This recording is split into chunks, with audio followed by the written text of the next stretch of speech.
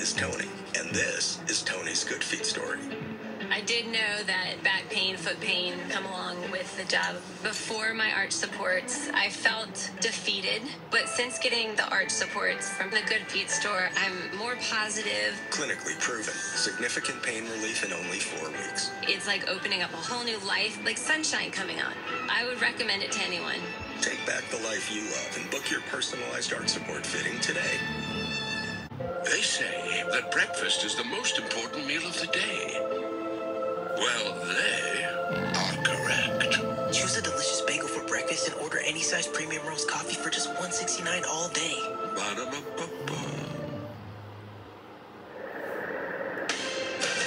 From CBS News Bay Area, this is the Morning Edition.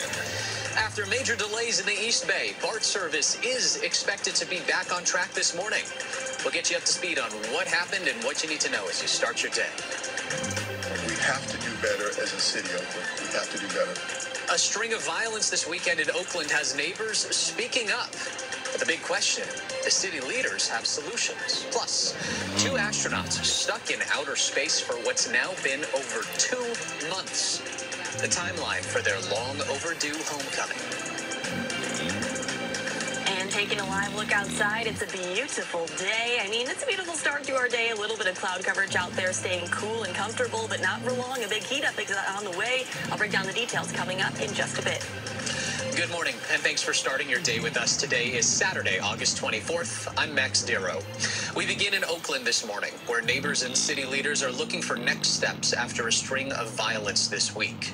It's been an especially violent week in the city of Oakland. Four incidents leading to deaths, families losing loved ones in just the past seven days. The most recent incident happening on Thursday night outside of Harry's liquor store located at 90th and MacArthur. There was another deadly shooting on Ney Avenue, a few blocks from King Estate Park as well. Several people were shot there, and one of those people died. And then on Monday, a 17 year old girl was killed in a hit and run on International Boulevard. People who apparently witnessed this happened stayed on scene and held the alleged driver there until police arrived. The violence this week drove neighbors to take action and speak up.